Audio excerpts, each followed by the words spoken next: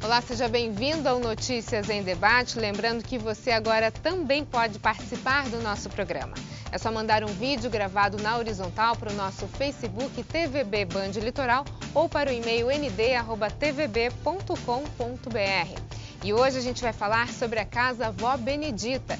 Quem bate o papo com a gente é a presidente da ONG, Elizabeth Rovai de França. Boa noite, Elizabeth, bem-vinda. Obrigada, obrigada, Roberta. Vamos conhecer um pouquinho mais da Casa Vó Benedita, a começando quem foi a Vó Benedita? A Vó Benedita foi uma senhora que ela utilizava a própria casa para tomar conta de crianças as mães não tinham com quem deixar e ela e ficava na casa da avó. Com o tempo, tinha mães que não iam buscar suas filhas, seus filhos, e assim começou a avó Benedita. Quem não ia buscar, a criançada ia ficando na casa da avó Benedita e assim aconteceu a entidade, né?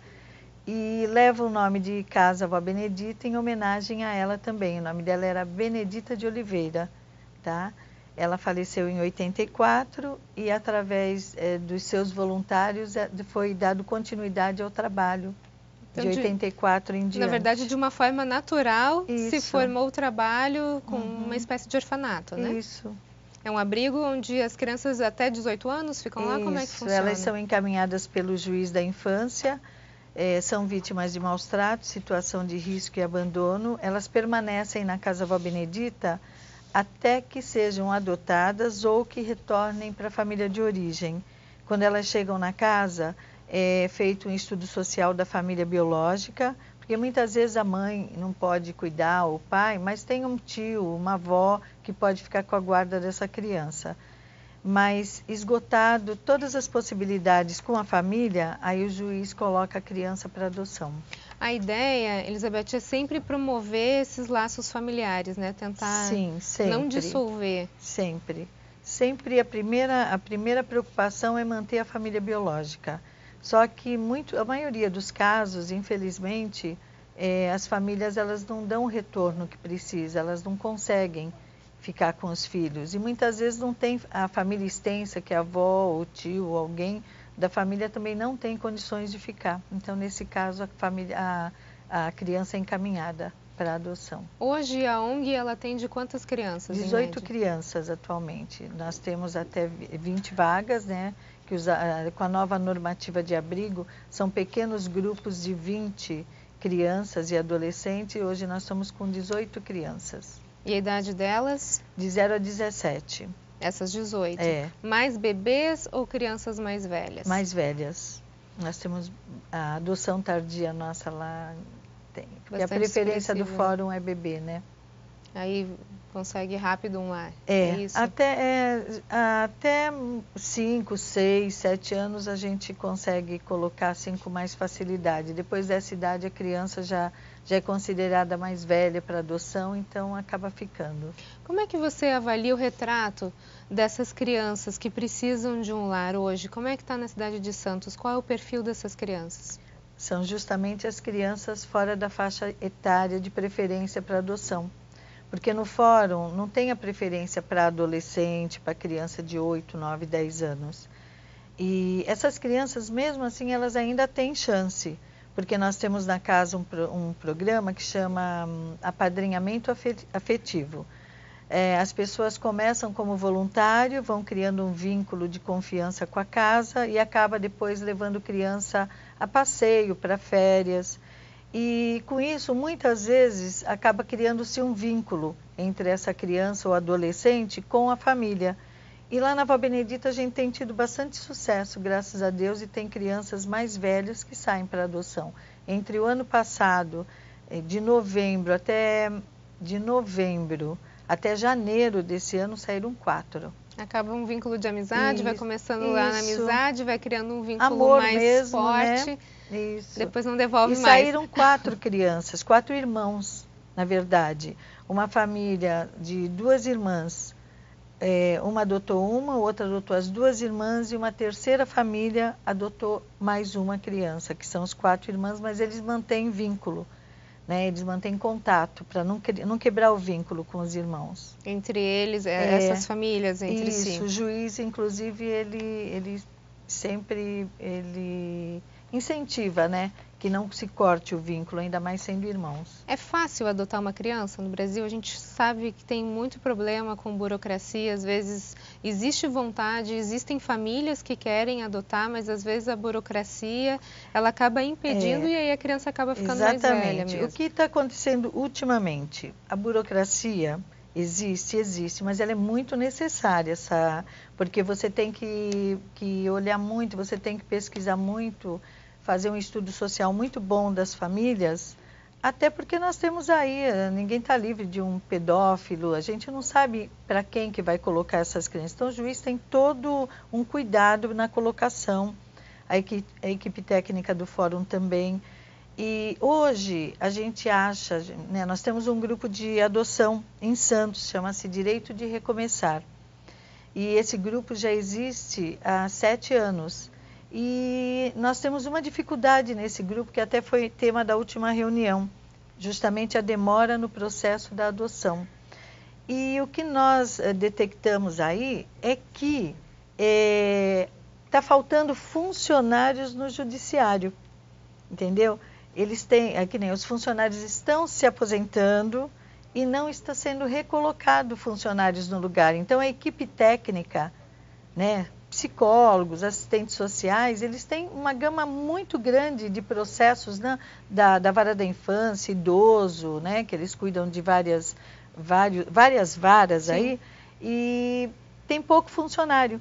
E muitas vezes esse funcionário é deslocado para outros lugares que precisa. Por exemplo, se, se São Vicente, Guarujá, Praia Grande, Cubatão precisa de psicólogo, a daqui de Santos tem que se deslocar uma, duas vezes por semana para fazer o estudo social lá das famílias, para trabalhar lá naquela comarca.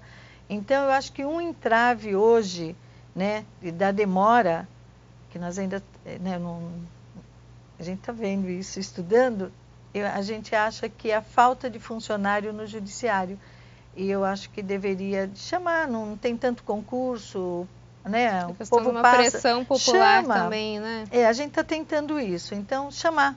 Chamar esses funcionários para trabalhar, né? Para ter um, uma, uma coisa mais viável, mais rápida, né? porque os casais sofrem com isso. Você já pensou você numa fila de adoção demorar três, quatro anos para chegar uma criança? É. A gente tem os dois lados, né? Os casais que sofrem e a criança também que está à espera de um lar. É, mas também assim, a gente não tem criança assim para todo, para todos os casais por causa dos perfis. Então o que acontece? Naquela fila do fórum, a grande preferência, vamos pôr, é de zero a dois anos. Né? A gente não tem um monte de criança nessa faixa etária para privilegiar todos. Até né? porque, de acordo com esse processo que a senhora está falando, é, a criança chega na instituição, aí precisa tentar fazer essa volta para a família de origem, né? Todo esse processo ele acaba demorando um tempo, né? A menos que uhum. os pais é, abram mão. Abram mão. É. Mas o, a criança de 0 a 2 anos, ela, a gente fala que não esquenta berço. É bem mais rápido o processo.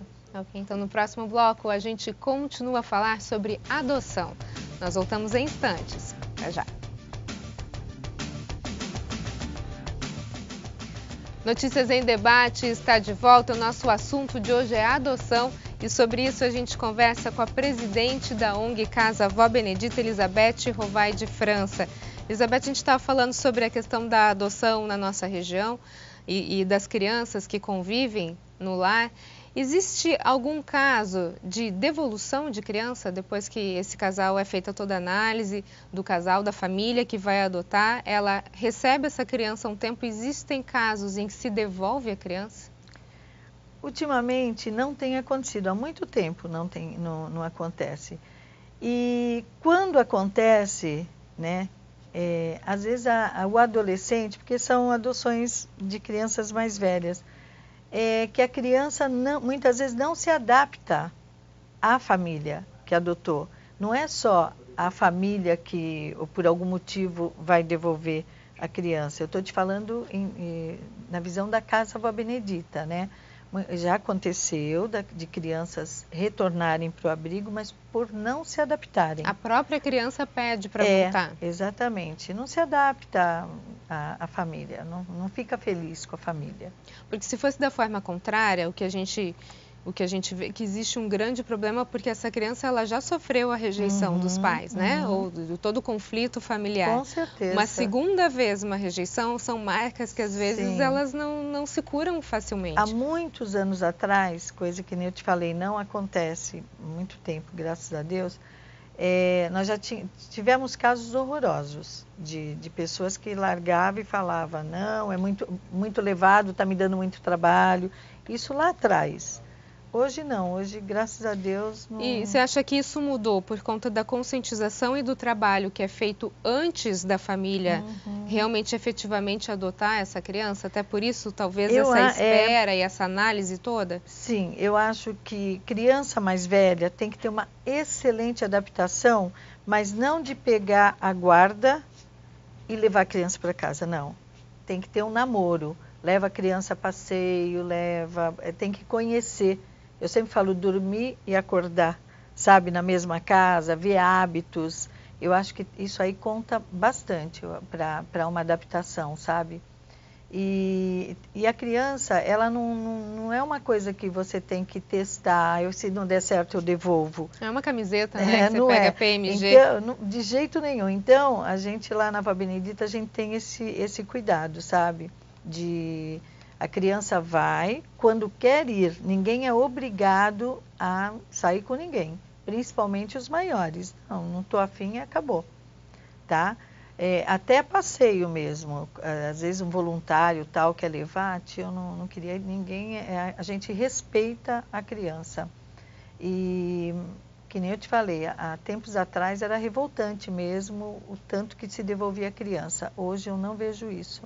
Não vejo. Agora, qual é a sensação quando uma família adota uma criança, para quem trabalha no abrigo? Vale a pena, é aquilo que eu estava falando para você. É, o que vale a pena, o nosso trabalho, que o grande, é, sabe, o grande ó, assim, do, do nosso trabalho, grande, o grande momento é uma criança colocada em família, sabe? É a, toda criança merece uma família. Ela merece, ela tem direito a uma família, né? E a coisa mais legal é quando você coloca aquela criança em família e você vai acompanhando, porque as, as famílias normalmente levam de vez em quando para a gente ver. É uma coisa maravilhosa.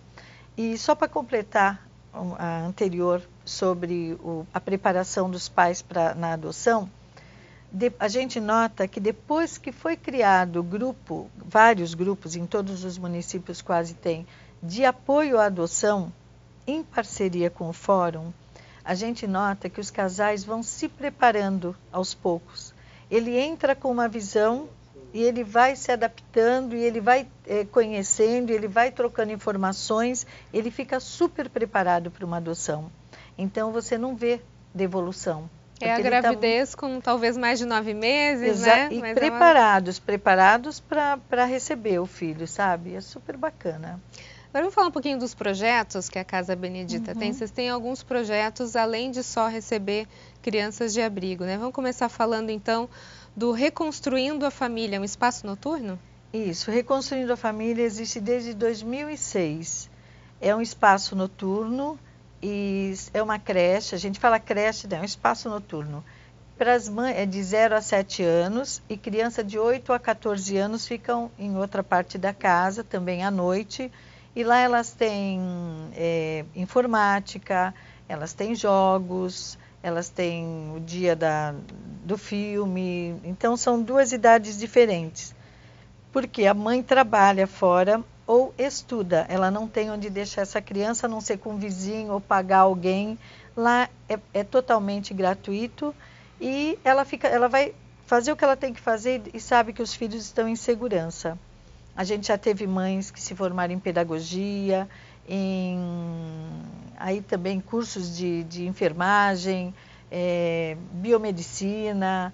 Elas estudam e a gente já, já, já teve, inclusive, pessoas que saíram da prostituição, estão num, outro tipo de trabalho agora.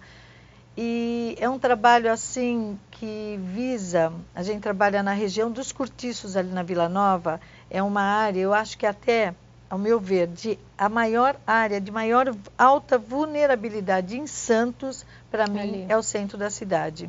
Porque ali você tem drogas, você tem prostituição, você tem miserabilidade, é, você tem tudo que precisa ser trabalhado para essas famílias. Então, o trabalho ali nosso, eu, eu, fico super feliz de falar desse trabalho, porque faz a diferença para essas famílias, para essas mães, que a maioria são é a chefe da família e a mãe, né? Então, se você conversa com uma mãe dessa, você vai ver o quanto é importante esse projeto lá acaba sendo um ponto de esperança para essas pessoas, Com né? Certeza. Porque se dá uma oportunidade delas mudarem de vida uhum. e de certa uhum. forma também auxiliarem os seus filhos para que eles continuem com elas. Né? Sim, e, e, tem outros, eh, tem o encontro delas, tem o encontro com psicóloga, tem o passeio com as mães, a gente tem um monte de coisa durante o dia também voltado para essas famílias. No próximo bloco a gente continua a falar dos projetos da Casa Avó Benedita. Nós voltamos em instantes. Até já. Notícias em debate está de volta o nosso assunto de hoje é adoção. E sobre isso a gente conversa com a presidente da ONG Casa Avó Benedita, Elizabeth Rovai de França. Elizabeth, a gente está falando dos projetos que a Casa Avó Benedita tem. A gente já acabou de falar do espaço noturno, né? Que é uhum. um, um, espaço diferenciado para que as mães possam trabalhar, possam deixar suas crianças lá, possam ter oportunidades no mercado de uhum. trabalho. Agora, existem outros projetos também que a casa tem em andamento? Tem sim. Lá na unidade 2 mesmo, onde funciona, né, nós temos o trabalho com mães, que nem eu te falei. Nós temos a preparação para o mercado de trabalho, né, que também é super legal que a gente pega jovens ali do entorno e prepara para colocação, com aulas de português, de como se comportar numa entrevista, enfim. Não precisa necessariamente ser um interno da, não, da Casa Não, não precisa. É aberto para a população comunidade. ali do centro mesmo.